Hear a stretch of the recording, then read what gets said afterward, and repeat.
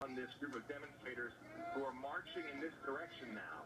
We can see that the demonstrators are marching towards police. Uh, they're lined up across the avenue.